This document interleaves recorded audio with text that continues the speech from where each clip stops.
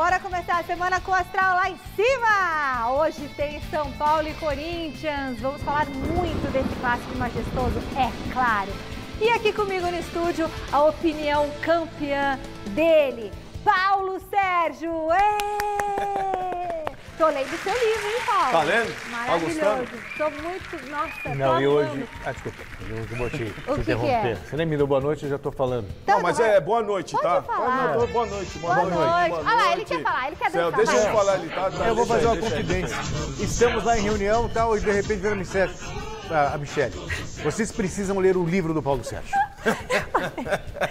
Então, o livro dele é muito legal. Eu tô na parte que ele ganha o tetracampeonato e agora ele vai para as Arábias, né? Lá pra terra Ah, o mundo do árabe, Mundo é, árabe. Eu tô nesse é. pedaço. Que legal. Muito, muito, muito legal. Gente, porque quando a gente lê o livro de alguém, a gente passa a ficar mais íntimo daquela pessoa.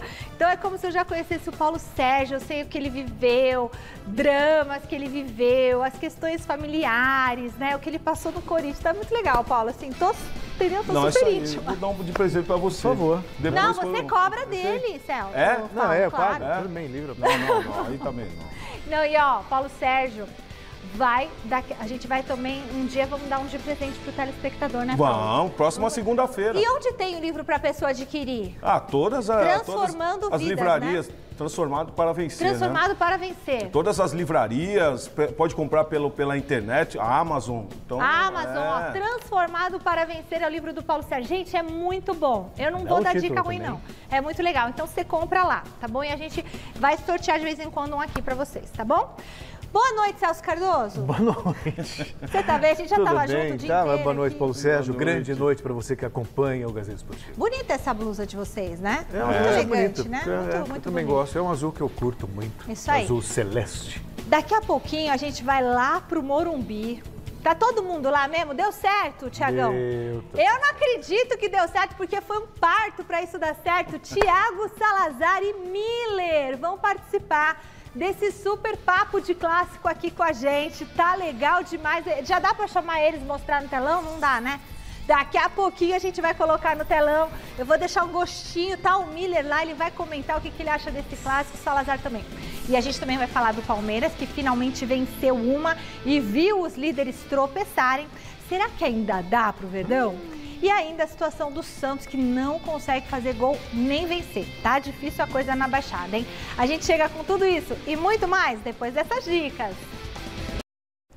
Segunda-feira é dia de clássico? É sim, senhor. Hoje tem majestoso, 8 da noite no Morumbi. Vai passar na TV? Pay per view, né? Pay per view, Premier. Tiago Salazar e Miller vão participar do nosso Gazeta Esportiva direto do palco do clássico e já de cara a nossa tradicional enquete do dia. Adivinha qual que é o tema? Quem é favorito para vencer o clássico? São Paulo ou Corinthians? Desse jeito, Celso Cardoso não fica em cima do muro. Vota lá no site gazetesportiva.com. Vai, Celso, você, favorito. Primeiro lugar, acho muito injusto de sua parte. É o Corinthians, Esse pronto, seu, já falei. Esse seu comentário, Olha lá, assim, Celso fica em cima do muro. Cima do muretaço. Mas por quê? Porque o jogo tem empate, não tem? Mas quem Ué. é favorito? A pergunta não é essa. Sim, é pois é, favorito. mas quando tem quem vai vencer se dá vitória, empate ou derrota, pode dar empate, ué. É. Mas aí, no caso, favorito é o Corinthians pelo momento que ele vive. E aí, Paulo? É, por incrível que pareça, é o Corinthians. Até porque, se nós observarmos o início do- da, da, da estação, eu ia falar estadião, né? Eu fiquei um pouquinho na Itália agora, né? Ai, que Stagione. É, Aí mistura alemão com italiano, né? e Com aquela bagunça e tal. Mas o começo da temporada, o Corinthians era aquele time que estava lutando para não cair. É. E hoje nós Meio de vemos- tabela era um sonho. É, e hoje nós estamos falando de um Corinthians para ser campeão. Nós estávamos com o Roberto ontem e estava falando sobre ser campeão. Então, é, sem, sem dúvida nenhuma, o Corinthians hoje é favorito pelos jogadores que tem, pelo aquilo que está jogando também. Indo ao encontro do que você está falando, Michele, no, antes do intervalo, será que dá para o Palmeiras ainda ser campeão, e tal? Se dá para o Palmeiras, Dá, dá, para o Corinthians. Corinthians. E é! Verdade. E ó, quando você olha Dá pra pro trás... Fortaleza. É. Pro Red Bull. Não, mas quando você olha pra trás assim, ó, e vê o Corinthians chegando assim, ó, vou ficar de costas. É outra pegada, Ó, né? Ah, dá um medo, hein? Ó o Coringão chegando. Então você que tá em casa, volta lá no site gazetesportiva.com e manda vídeo pelo WhatsApp de até 10 segundos, grava com o celular deitado no 11 99479 1633. Você pode ganhar maravilhosa caneca do Gazeta Esportiva, tá? E convites da festa de San Genaro que termina no próximo final de semana, tá bom? Agora sim, Miller e Thiago Salazar estão lá no Morumbi. Olha os nossos dois comentaristas aí maravilhosos. Miller, querido, tomou vacina, Miller. Tomou de novo a picada, meu amigo. Conta pra mim, Miller, na sua opinião, e você, Salazar, quem é favorito hoje à noite? Boa noite.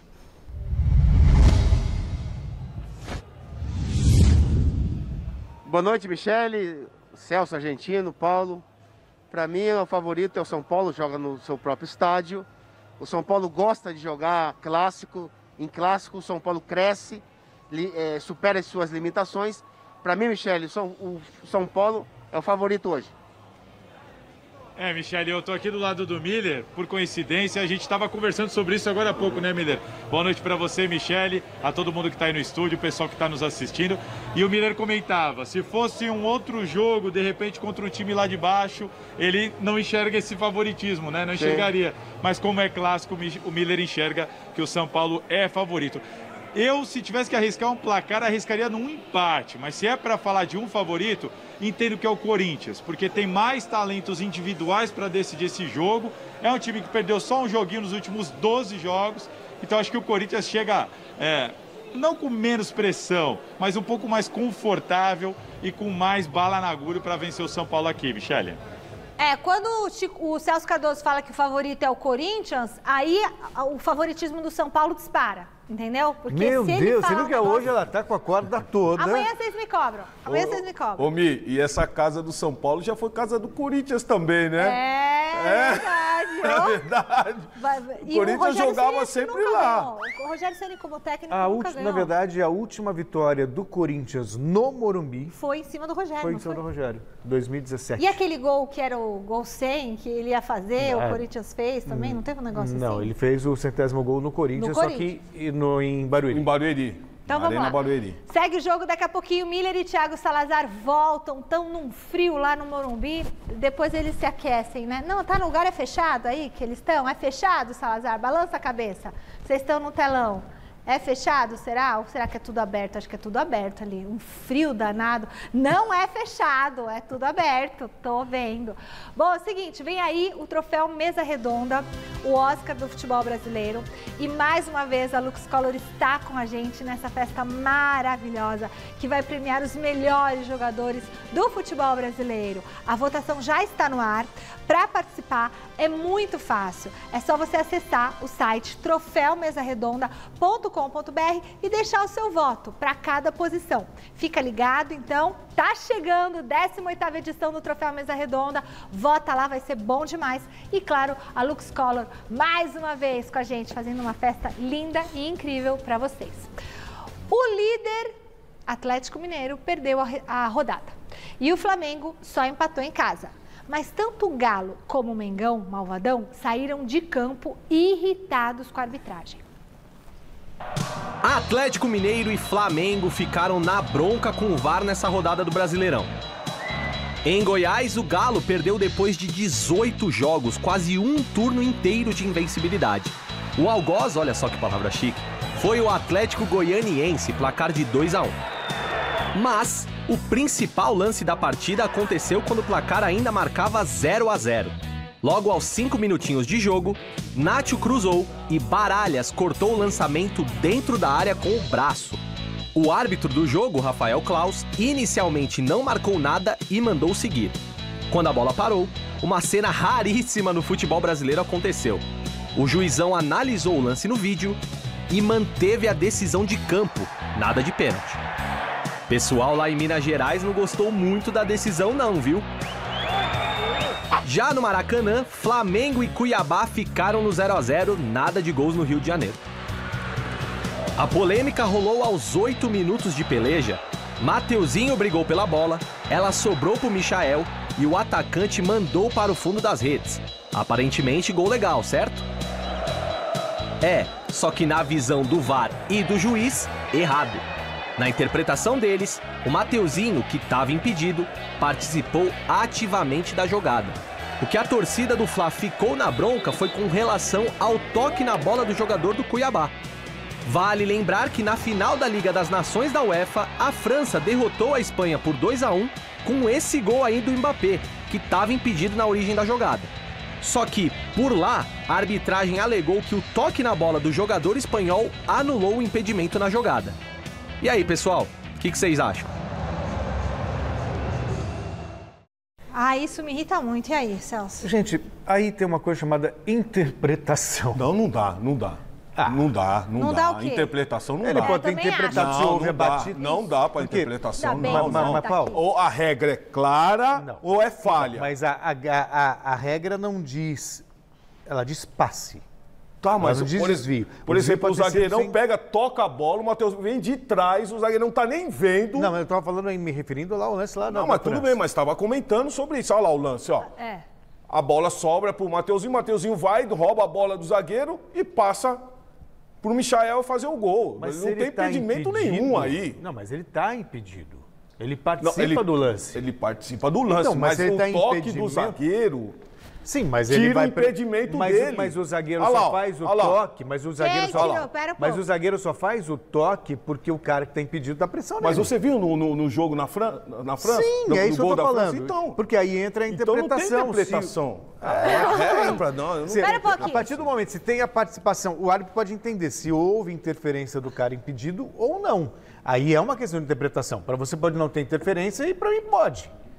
Aí, eu Aí, acho por isso que a gente tem essas da divergências. interpretação. Tem que ter a regra. O que, que você acha, Paulo? Eu acho que é- tinha que ser gol legítimo, porque o zagueirão dormiu no lance.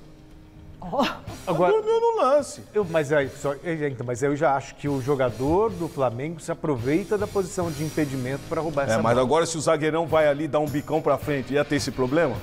Não, porque Então, não ia ter o perigo. é, e Outra e não coisa, falando em interpretação. E aí, e é isso que me causa estranheira. É, estranheira não, estranheza. É, aí, ó, tá vendo? Vamos lá na Itália, hein? É, pois é. Não, é que foi, foi né, lerdeza mesmo. Mas veja só, o Klaus, no pênalti que ele. Rafael Klaus? É, que ele confirmou lá no Atlético Mineiro. Ah. Ele marcou um parecido no jogo do São Paulo contra o Santos. Quer dizer, então ele mesmo tem, sabe, comportamento dúbio. Então, esse Não, negócio e de interpretação não coisa, funciona, é, não Celso. funciona. Tem que ter uma até regra. porque, Mas isso na faz hora parte que do o, ô, jogo, Celso, gente. até porque na hora do gol do atleta, do, do, do pênalti ali do atleta, na hora que o zagueiro ele sobe com a mão, É. a bola vem, ele abaixa. Ele abaixa e a bola vem na mão dele, ou seja, dá sinal que ele Ele o quê? vai fazer uma defesa. Segurou, né? Foi intencional. Pênalti claríssimo. Bom, devia ser assim, ó. Bateu no braço é, é pênalti, então. Pronto, Tá, faz isso, Estava assim. né? Gente, tô ficando, tô ficando rouca. De Tanto que falei hoje na nossa reunião aqui de pauta. Daqui a pouquinho, a gente vai lá pro Morumbi de novo. Miller e Salazar estão lá, estão discutindo, inclusive. Não sei o que está acontecendo, mas a gente vai mostrar. Antes, vamos dar uma olhada nas prováveis escalações de São Paulo e Corinthians, começando pelo tricolor. Olho na tela. São Paulo deve ir com Thiago Volpe, Orejuela, Arboleda, Léo e Reinaldo, Lisieiro, Igor Gomes, Gabriel Sara e Benítez, Luciano e Ca Caieri, que ele falou, né? Cacheri. Cageri? Não, não é. É argentino? Ah, toca no Caleri que é gol, é, isso que o povo fala. E agora a gente mostra aí a provável escalação do Coringão. As principais ausências são Fagner, que está suspenso, e o William, que está machucado, lesão no músculo posterior da coxa esquerda. Bora então ver como que chega o Corinthians. Provável escalação: Cássio, Duqueiroz, João Vitor, Gil e Fábio Santos, Cantígio, Renato Augusto e Juliano, Gabriel Pereira, Gustavo Mosquito e Roger Guedes. E aí, Thiago Salazar e Miller, vocês que estão aí no palco desse clássico majestoso entre São Paulo e Corinthians. Conta pra gente, daqui a pouquinho a gente vai fazer um quem é melhor dos dois times e vocês vão participar. Mas quem chega melhor para esse jogo, Miller e Salazar? Diga pra gente. Boa noite, de novo.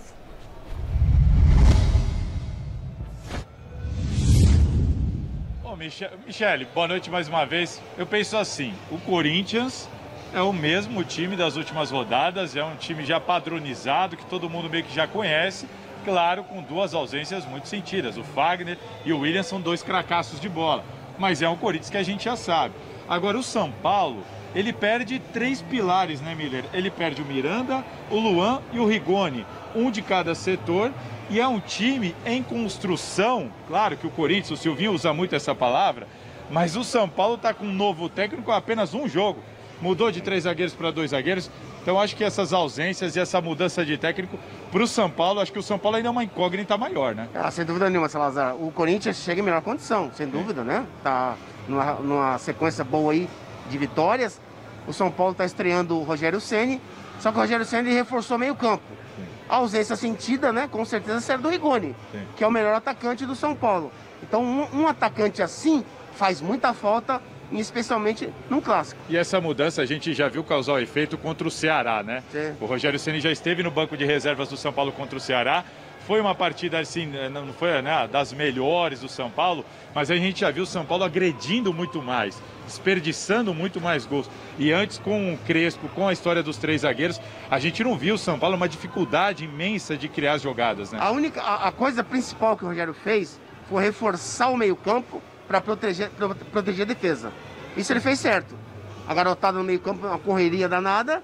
Então, nessa correria, tem uma proteção né, para a defesa e, consequentemente, a garotada chega lá na frente para ajudar o- o- os jogadores de ataque. Então, acho que o São Paulo vai ter essa dinâmica no meio-campo por conta da garotada que tem o meio-campo o meio-campo reforçado.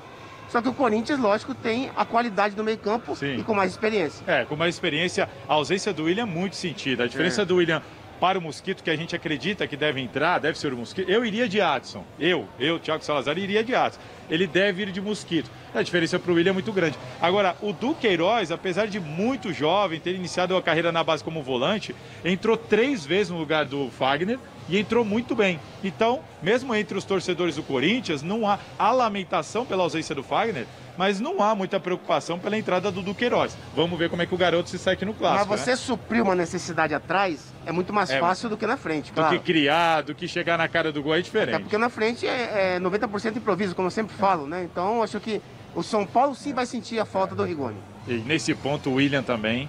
Não, mas eu acho que o- o- o Mosquito, ele, ele antes de chegarem os reforços, ele estava jogando bem, era o principal jogador do Corinthians e continua nessa mesma regularidade.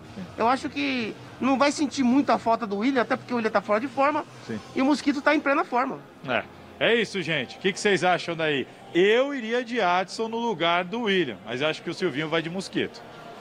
Depois eu quero saber do Miller o seguinte, Miller, essa, o Rogério Ceni consegue, dá pra fazer alguma coisa em, sei lá, menos de sete dias num time? Daqui a pouquinho o Miller responde, tá? Paulo Sérgio, quem é favorito aí? Quem tem a melhor escalação pra esse jogo de hoje? Bom, é, como, como o Miller estava falando, o- o- é lógico que você ter a ausência do Rigoni ali na frente é um jogador importante, mas você tem o Calheri, você tem o Luciano ali. Mas eu, eu, eu para a defesa do São Paulo, o Miranda entrou como uma luva, né? Ah, é, é um jogador que faz falta para qualquer equipe, mesmo sendo veterano. Então eu creio que, que o Luan também, um jogador ali no meio-campo que marca muito bem, que ajuda Uma muito vai bem. de Lisieiro, né? É, vai de Lisieiro. Então, perde jogadores importantes no- na defesa, no meio-campo e no ataque. E o Corinthians, sem dúvida nenhuma, a ausência do William é, sem dúvida nenhuma, um, um jogador, e o Fagner pela direita, perde aquele, aquele setor direito que sempre foi muito forte para a equipe do Corinthians. Mas eu creio que as duas equipes têm grandes jogadores e clássico é clássico. É, nós brincamos aqui do favoritismo, mas é sem dúvida nenhuma é um jogo que quem falhar menos vence. Olha, eu, eu concordo com o Paulo, o Fagner, por mais que o Duqueiroz que você tenha entrado bem, o Fagner tem toda uma experiência na questão Tem defensiva, tanta experiência, na foi marcação. suspenso. Não, mas é uma outra história. Isso daí, é- Eu aí concordo é que ele é experiente, mas aí poxa é vida, comportamento. não Tô podia dizendo, tá do, bom- fora disso. dizendo do ponto de vista tático. Do ponto de vista tático, ele tem uma importância muito grande. E o William, coincidentemente, todas as vezes que o William não jogou, o Corinthians caiu de produção. Jogou mal contra o esporte e contra o. Foi contra o Fluminense. Depois que ele saiu, o Corinthians também caiu de rendimento. Por outro lado, o, o Mosquito. acho que o, é uma questão de gestão de grupo. Porque quando chegaram os reforços, o melhor jogador do Corinthians quem era? Mosquito. Ele saiu por uma Isso, questão óbvia, porque isso. tinham jogadores né, de outro nível, de outra qualidade. Hum. Mas ele sempre foi o principal, então é uma maneira até de premiá-lo. Ele foi sacado para a entrada de jogadores de reforços importantes, Coitado, mas quando né? tem importância ele volta. Então, Coitado não, e o- é, é um é- jogador é- que está no, no, no, no meio de ascensão. É claro, no período de então- ascensão. Então, então- então- vai crescendo com, com o passar da, competição. Isso faz parte da gestão do grupo. Ele era o cara, entendeu? ele era o cara que estava resolvendo, né? Ainda é. E, e quando o Silvinho coloca ele, ele mantém o grupo ali, sabe? Beleza. E também veio o GP também. né? Claro. Apareceu o GP aí com Ô. força toda. Ô, Miller, em sete dias, não, não é nem sete dias, porque ele chegou o quê? Quarta, né? Quinta, sexta, sábado, domingo, segunda. Em cinco dias, dá pra fazer alguma coisa um treinador que recebe uma equipe? O que, que o cara faz nesses cinco dias?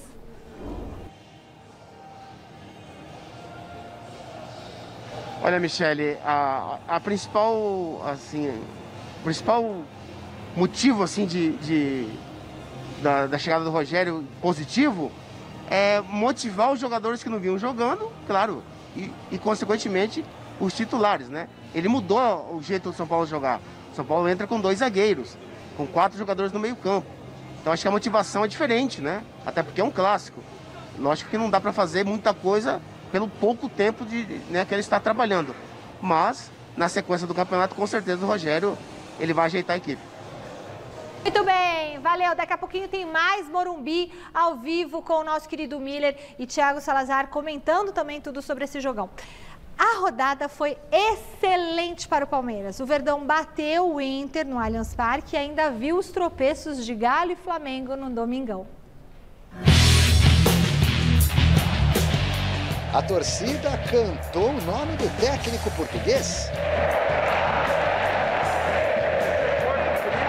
Abel escalou um Palmeiras mais forte com a volta de alguns titulares, como por exemplo Marcos Rocha.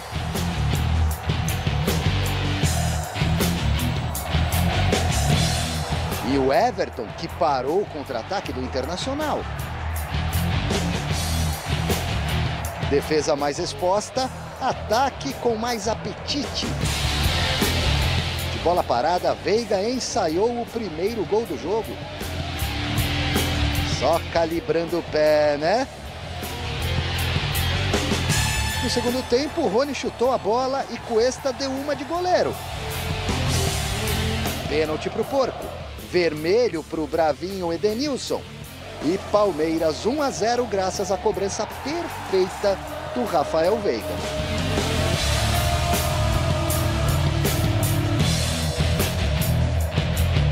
Com um a mais em campo e no placar, o Palmeiras partiu para dentro e quase ampliou.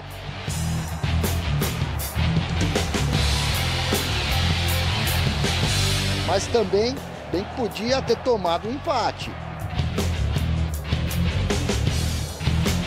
Ao ser substituído, Luiz Adriano recebeu vaias de boa parte dos 11 mil presentes no Allianz Parque. Na sequência, Lomba fez o que dava para impedir o segundo do Verdão. Que apesar do homem a mais, continuava dando campo para o Colorado. Daverson arriscou uma bicicleta.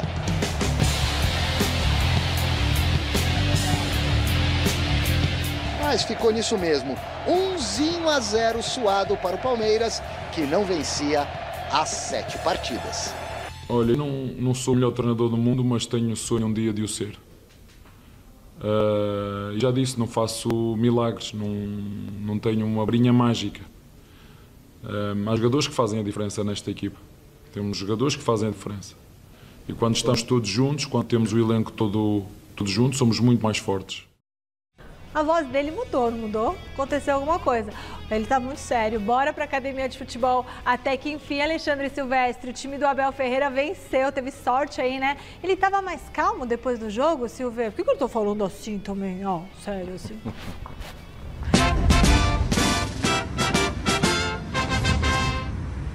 É, Michele, boa tarde para você, boa noite, amigos.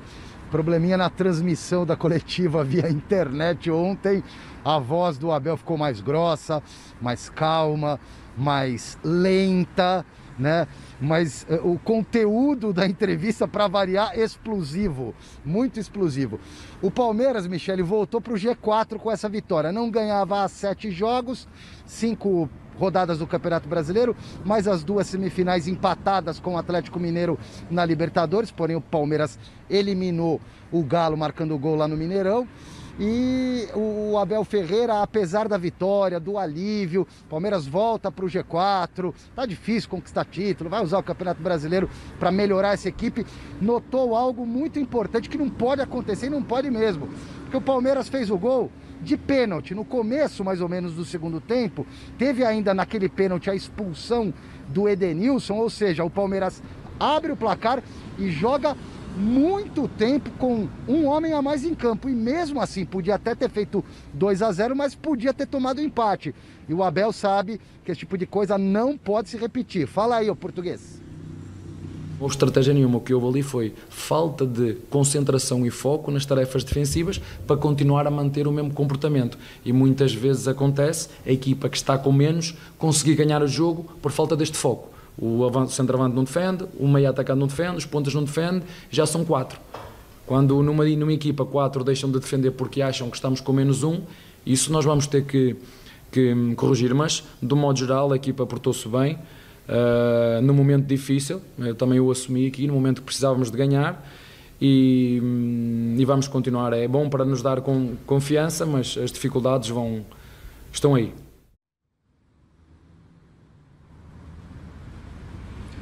Tá aí o Abel já falando normalmente para nós do Gazeta Esportiva. Palmeiras que tem sequência de quatro jogos agora pelo Campeonato Brasileiro, tudo contra, contra time que está disputando, é, tentando escapar do rebaixamento. É Ceará, quarta-feira, depois de amanhã, fora de casa.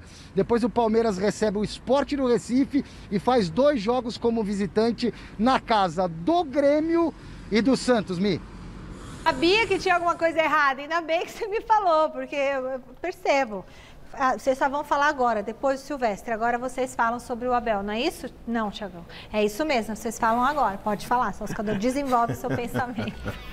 O Palmeiras ganhou, ah. os outros times perderam, mas o Palmeiras ganhou, ganhou jogando bem, bonito. Ganhou, não, não foi aquele futebol, mas foi. Foi um Palmeiras melhor dos últimos, dos últimos jogos que a gente viu. Foi um Palmeiras mais solto. O que mostra, inclusive, que as críticas ao Abel elas fazem sentido. Esse time tem capacidade de criar, esse time tem capacidade de propor é só ele soltar o time. Quando ele coloca os caras para jogarem na frente, o Palmeiras consegue jogar. Então foi, foi um jogo equilibrado, diga-se de passagem. 12 finalizações para cada lado, tudo. Porém, Porém. O Edenilson fez uma bobagem, né? Não, destaque para ele, para a equipe do Internacional. Ele xingou assim o juiz, ó. Não, e depois nas redes sociais dele é. ele se desculpou, né? É um jogador que vem de seleção brasileira, é um, um, um jogador é, experiente, não pode cometer esses tipos de erros. É lógico que Edenilson hoje é um jogador para a equipe do Inter importantíssimo, ainda mais para essa fase que, que o Internacional está tá passando aí. E lógico que agora Rafael Veiga bateu bem o pênalti, hein? Nossa, ele é. Queria ver quem bate o pênalti como ele bateu ali, porque é peito de pé no, no ângulo. Tem que ter coragem de bater Aliás, o peito daquele ali. É, tanto que é impressiona difícil, tanto né? que a é gente, é difícil. É, tanto que a gente está pensando até fazer um comparativo aí do Rafael Veiga, porque ele é excepcional. Ele vai para a cobrança, você já tem a sensação que o gol tá garantido. Não, e outra coisa, né? Pra que, que vai trocar o jogador? Ele tava bem na partida, tira o Rafael Veiga e coloca o Davidson. Eu não entendo por que, que esses treinadores hoje têm que ficar substituindo toda hora. É. Deixa o jogador jogar os 90 minutos, não, não, não dá para jogar no próximo, põe outro. Antigamente era assim, é. você vai pra equipe, você só troca se alguém machucou, acontece alguma coisa, é. né? Agora não, sempre fica tirando, dá uma raiva. Atenção! Para, para, para, para tudo! Sabe aquela música? Apaga a luz? Não, não apaga a luz. Mas para tudo, porque chegou a hora do quadro mais legal do Brasil. Consagrou. O Brasil consagrou. Tiagão também. Quem é melhor? São Paulo e Corinthians na agulha. Manda pro ar, na tela. Tchá, tchá, tchá. Vamos lá. Eu chamo a participação do Salazar e do Miller também, direto do Morumbi. Vocês vão Ah, aí votar. vai dar uma equilibrada. Fiquem ligados, hein? Então vamos lá. Thiago Volpe ou Cássio? Musiquinha do tan, tan, tan, tan, tan. Quem é melhor? Thiago Volpe ou Cássio? Paulo Sérgio. Cássio. Cássio. Miller.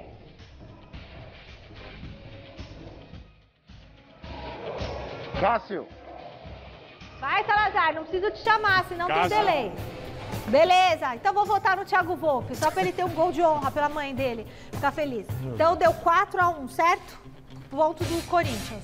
Vamos lá, mas quem é melhor? O Orejuela ou o Duqueiroz? Paulo Sérgio. É, Orejuela, porque é jogador da posição do Queiroz, vai estar jogando improvisado, porque ele é, um, ele é volante. Vi bons jogos do Orejuela. Orejuela. Orejuela, Miller e Salazar.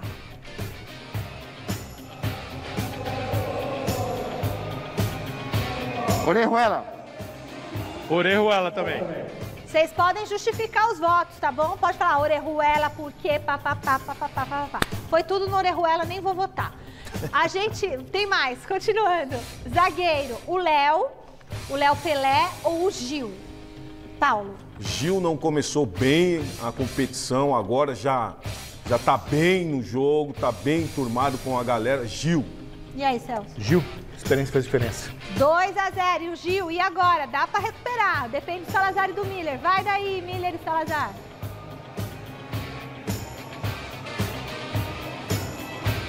Gil. Eu também vou de Gil, Michele. Nossa, unanimidade, hein? Ponto pro Corinthians. Próxima posição, olha só. Arboleda ou João Vitor na zaga? Ah, João Vitor, melhor do campeonato hoje. É uma revelação, o João Vitor. E aí, Celso? Uma grata surpresa. É. Grata surpresa. Tá jogando muito com personalidade esse menino, João Vitor. É jogador para a seleção brasileira. Escreve aí. Olha lá. E aí, Miller e Salazar?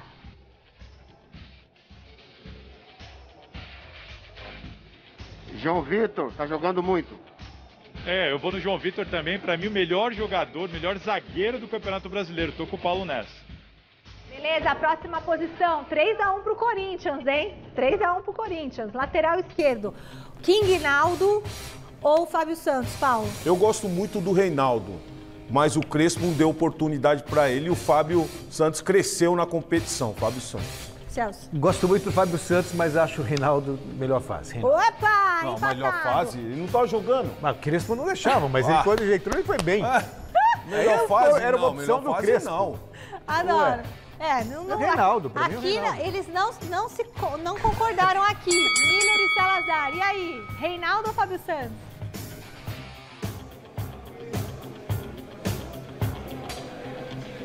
Pra mim, o Reinaldo disparado. O Fábio Santos é um jogador experiente, bom jogador, tem muita regularidade, mas o Reinaldo, pra mim, é melhor. Eu vou deixar essa bomba pra você, Michele, porque eu vou votar no Fábio Santos. A sequência do Fábio Santos, como disse ali o Paulo, Reinaldo não vinha jogando, eu vou no Fábio Santos. Agora? Agora eu posso desempatar. Fábio Santos, vou votar no Fábio Santos. Muito bem, essa sequência dele acho que é o melhor mesmo. Mas por quê? Ué, porque ele tá tendo uma sequência de jogos, Ah, mas eu acho aí. o Reinaldo um baita jogador. É. Só que não tava realmente tendo oportunidade. Tem mais, não acabou. Tomara que tenha muito empate. Lisieiro ou Cantijo, Paulo? Cantilho. Cantillo. Como diria mestre, cantinho. Ai, esses fresco. E o Miller e o Salazar?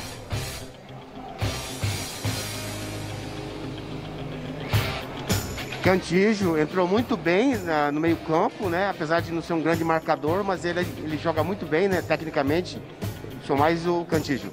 Eu também sou mais o Cantilho, ele erra menos do que o Lisieiro e é o cara que acelera o jogo do Corinthians. Muito passo pra frente, pouco passo pro lado. Vou sobrando no Cantilho nessa. Ó, ele falou Cantilho, o, o Miller falou Cantijo e o Celso e o Paulo falaram Cantillo. Então, por isso que eu nunca sei como que tem que falar. Próximo, é, quem é? Gabriel Sara ou o Renato Augusto? Ah, com todo respeito, o Gabriel Sara eu gosto muito, mas o Renato Augusto não dá pra comparar. Você viu que ele passou na sua frente, né, Não, Paulo? não tem problema. Perdão. Não tem, pro- não, não ele tem passou, problema. Não ele, tem ele tem problema. alguma coisa contra você, Não, não, não, deixa Ah, aí, ela tá deixa causando aí. Não, intriga, não, é, Paulo. Não, não tem, não. Tá causando problema. intriga. Não, é, é- é Renato Augusto, sem dúvida nenhuma. E aí, Miller e Salazar, Renato Augusto?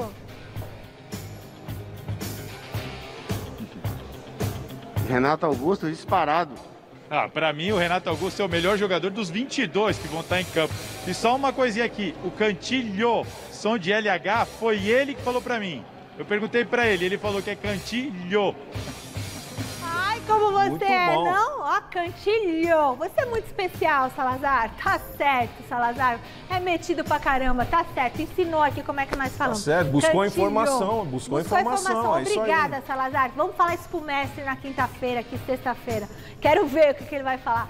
O, ah, e o São Paulo, que era pra falar São Paulo. São Paulo? Não, segue e o o mestre jogo, não segue fala. o Bom, jogo, enfim. segue o jogo, Continua, segue, o jogo aqui. segue o jogo. Ah, o Igor Gomes. Ah, eu gosto do Igor Gomes. E o Juliano? Igor Gomes é um jogador que com, com o Diniz jogou muito bem. É, então. É, com o Crespo já não teve a, a mesma fase. E o Juliano chegou muito bem nesse meio de campo Chegou do chegando. Corinthians. Chegou chegando, como diz a Michelle. E é isso. Arrumou o time do Corinthians, Juliano. Salazar e Miller.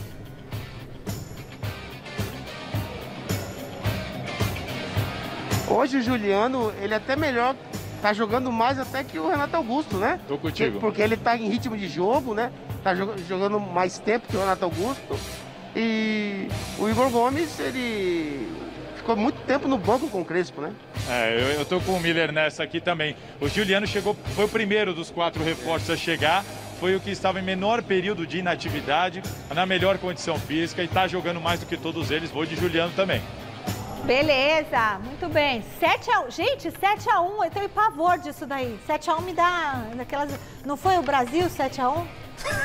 Gente, 7x1 é vergonhoso. Vai, 2014. Nossa, eu fiquei tão chateada. Fui no banheiro, voltei e tava três. Tinha tomado três gols. Próximo, meio campo. Benítez ou Gabriel Pereira? Tá aí uma das disputas Ó, mais. Ah, Ah, perdão.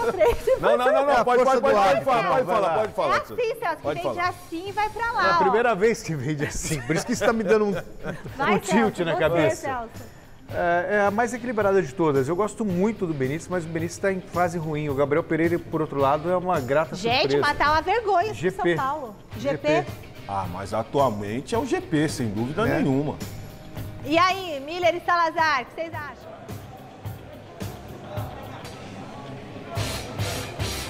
Olha, Michele, tá chovendo hoje no Morumbi, né? Aquela, aquela né? Fininha. Fininha, aquela garoa fininha típica de São Paulo. Quando fecha o tempo assim, o Benítez não joga, ele machuca. Eu sou mais do GP. Eu não sabia dessa, dessa estratégia aqui, mas eu também vou de GP. O GP tá jogando muita bola. Gente, o Miller fala isso sempre e quando o Benítez chegou, o Miller já falava isso, né, Miller? Falou, esse jogador é o quê? De vidro, não é, Miller, que você falava? Ele já cantou essa bola. Miller, tá 8x1 pro Corinthians. Como é que você fala que o, Verdade. que o São Paulo é favorito? Bom, vamos continuar a votação. Daqui a pouco você se explica. Deixa eu ver quem que é o próximo voto, que eu não tô enxergando aqui.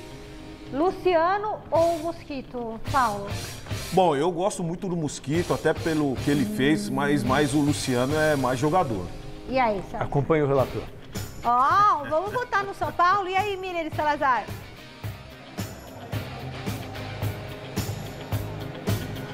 Como eu disse ontem no mesa, o atacante tem que saber driblar. São mais um mosquito. Eu vou mais. Eu vou no. Eu Me fugiu até o nome dele agora. Luciano? No Luciano. Porque o Luciano ele dribla menos, mas ele faz mais gols. Ele é mais goleador. Então eu vou no Luciano nessa. Mas se o... Espera um pouquinho, empatou não? Não, não, não, não. Deu Luciano, né? Ponto pro São Paulo. É, e o próximo, quem é? Caleri. E esse, você perguntou também, ô Salazar? Caleri? Cageri? Caieri? Caleri. Bom, Cal Caleri. É. Toca no Caleri ou Roger Guedes? Paulo. Ah, Roger Guedes, pelo que vem fazendo na equipe do Corinthians, chegou, como você disse, também chegou chegando. Chegou chegando. É, se bem que caiu nos últimos dois jogos, mas ainda assim Roger Guedes. E aí, ô Miller? Salazar. O, o Caleri chegou agora, né? Ele tá começando a se entrosar com a equipe, né? E o Roger Guedes não, o Roger Guedes já tem sido decisivo em algumas partidas pro Corinthians. Roger Guedes. Não, Michele, eu não pergunto. Porque eu ainda não encontrei com ele. Então eu vou manter o que o Cantilho me falou, vou no LH. Mas eu vou votar é no Roger Guedes. O Calheri, aqui hoje, é a principal esperança do São Paulino.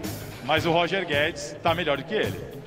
Legal. Tem, ô, ô, Salazar, depois você fala se é verdade que o Roger Guedes entrou no vestiário depois de um jogo e começou a gritar, falou até Corinthians, vamos ganhar, não sei o que lá. Eu li isso em algum lugar, que ele incendiou o vestiário lá. Ah, é fake? Ixi, o meu diretor já falou que é fake, mas eu achei tão bonito aquilo. Bom, próxima posição. Depois ele me fala, Salazar. Rogério Ceni ou Silvinho? Ah, bom, não sei, né? Agora o Rogério Ceni mal chegou, né? Injusto. Fala, Celso. Fala, Pode falar, Celso, pode Celso, falar, Celso, administra pode falar, essa ansiedade. Toma um chá, fala, É, Celso. meu Deus do céu, tem água aqui. Fala, Celso. Não, são treinadores em estágios diferentes, então esse estágio favorece o Rogério. Rogério? Sim. Acabou de chegar, é o Mas a momento. gente tá falando de quem é melhor. O estágio, ele é o atual campeão brasileiro. O Silvinho, final de semana, Mas quem ele é ganhou? o atual campeão brasileiro. A gente E aí, rodada. Silvinho, Silvinho. Silvinho. E aí, Miller? Ó, tá empatado. E aí, Miller e Salazar? Difícil essa, hein, Miller? Não, é- assim, é, como o Celso disse, né? O, o Rogério é o atual campeão brasileiro, né? O Silvinho, taticamente, ele é até melhor que o Rogério. Mas o Rogério tem mais bagagem atualmente. É, o Rogério é técnico há mais tempo. É difícil medir o trabalho do Silvinho, um trabalho de quatro meses É, e pouco. pouco. É ainda complicado dizer quem é melhor, se o cara é bom, se o cara é ruim. A gente está conhecendo o Silvinho agora. Eu tenho o meu pé atrás com o Rogério, porque muita coisa do que ele já fez aí eu não concordo. Mas hoje, comparando com um técnico que está há quatro meses na função, eu vou no Rogério Ceni também. Rogério Senna, então, ponto pro São Paulo. 9 a 3 pro Corinthians. Então vamos ver se isso vai se refletir. Ô, me em imagine campo. se, hein, Celso, se desse é, aquele time do, desse esse time do Flamengo na mão do Silvinho. Nossa. Pois é. É. Bom, Salazar, Miller, super obrigada, viu, Miller? Beijão pra você. Tomou a vacina, não vai ter reação, descansa, toma um chazinho. Salazar, bom trabalho pra você aí pelo site gazetesportiva.com. Beijo, Miller, abraço. Tchau. Tchau, bonitinhos. Tchau. Diretor de futebol do Corinthians, Roberto de Andrade, foi um dos convidados do Mesa Redonda de ontem. Um dos assuntos, claro, o interesse do Timão no volante Paulinho. o nosso objetivo em 2021 ainda não foi alcançado. Então, todas as nossas energias e da comissão técnica ainda é para o campeonato de 2021, até nós atingirmos os nossos objetivos, que é pelo menos a vaga direta para Libertadores. Você, você falou do Paulinho, o Paulinho não é segredo para ninguém que a gente tem uma, uma vontade grande de trazê-lo para trabalhar conosco. Como a janela está fechada, nós temos tempo ainda para conversar, que isso deve ocorrer aí no mês de novembro ou dezembro, de a gente conversar com o Paulinho e Deus queira que dê certo. É a minha vontade também. Eu gosto muito do, do atleta, acho que ele somaria bastante no nosso elenco. Muito legal. Tem recadinho pelo WhatsApp? Vamos ver? Boa noite, Michele, Celso, Paulo Sérgio, Antônio Scott e vai Timão. E para mim, o favorito para vencer o majestoso é o Corinthians. 2 a 1 Abraço! Boa noite, Michele. Boa noite, Celso. Boa noite, Paulo Sérgio. Com certeza o Corinthians é o favorito de hoje. Vai ser 3 a 0 pro Coringão. Aqui é o André, Laura e Gabriel de Osasco. Eu quero a caneca, Michele. Boa noite, Michele. Hoje o São Paulo vai passar o trator por cima das gaivotas aí do Corinthians. 2x1, dois gols do Caleri. Vamos, São Paulo. Vamos ser campeão. Ó, achei que o menininho não ia falar lá de Osasco. Quero a caneca. Eu tava esperando assim, ó. Quero a caneca. Vem que é tua caneca, meu amigo. Vem buscar a caneca, tá bom? Pra família lá de Osasco. Porque quando tem criança, dá sorte a gente distribuir o prêmio. Aí, ó. A caneca é dele. Ó, que bonitinho. Olha, menininha. Beijo pra vocês. Produção vai entrar em contato, tá bom? Esqueci o nome dele. Beijo. O Santos teve o chamado jogo de seis pontos contra o esporte em Recife. Acabou voltando pra casa com um pontinho só. Velhos problemas pra resolver, né? Quando a fase não é boa, colega, as más notícias parecem não ter fim, né? Sim. Depois de empatar em 0 a 0 com o Sport ontem, o Santos volta aos trabalhos apenas amanhã, de olho na partida diante do América sábado na Vila Belmiro. E para esse jogo super importante, só o Gabriel Pirani deve deixar o departamento médico. O trio Luiz Felipe, Kaique e Jobson tem tudo para seguir no estaleiro. Além do Pirani, o professor Carilli terá as voltas do João Paulo e do Jean Mota contra o América. Os dois cumpriram suspensão diante do esporte. O desfalque fica por conta do zagueiro Wagner Leonardo. Ele recebeu o terceiro cartão amarelo ontem e tá fora da partida do próximo sábado. Vamos lá, olha lá. Enquete. Quem é favorito para vencer o clássico? A maioria respondeu que é o São Paulo, com 62% dos votos. Ah, mas na votação deu o Corinthians ali. 9 a 3. E hoje o Corinthians vai estrear a camisa roxa. Ai, gente, isso não dá sorte. Jogar de roxo contra o, contra o São Paulo, é isso? Ah, em homenagem ao futebol feminino. Ah, tudo bem, é legal, mas, poxa, vai numa gestor, assim, num jogão desse. Placar, Celso. Placar? 2 a 1 um. Só para te irritar. 2 a 2 Ah, e aí, Paulo? 2 a 1 um Corinthians. 2x1 um Corinthians, também tô com esse. Ou vai ser 2x1 um Corinthians ou 2x1 um São Paulo. Não sei, é 2x1, um, tá? Ah, também fica fácil, né? Gente! É, ou 2x1 um São Paulo, ou 2x1 um Corinthians, ou 2x2. É o Corinthians, Celso Cardoso. Hoje dá Corinthians. Obrigada, Celso. Obrigada, Paulo. Obrigada, Miller. Obrigada, Salazar. Obrigada, Brasil. Obrigada, audiência. Amanhã tem mais, a partir das 6 da tarde. Tô te esperando, hein? Fique agora com o Jornal da Gazeta. Beijo. Tchau, me liga. Tchau.